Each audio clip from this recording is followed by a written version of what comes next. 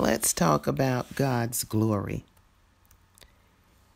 If you follow the instructions God gives, His glory will miraculously improve your life.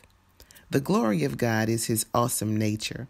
The glory of God is His miracle working power. The glory is God's will and desire to perform on behalf of His people. The glory is extreme, it is exciting. The glory can change your life.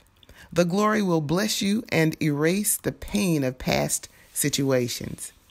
The glory will raise you up to walk in a new way and cause you to change your conversation and what you have to say. People seek after the glory of God because they know nothing stops the glory of God from shining through except me and you.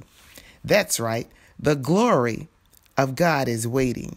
I mean, the glory can hardly be contained, wanting to show up in your life.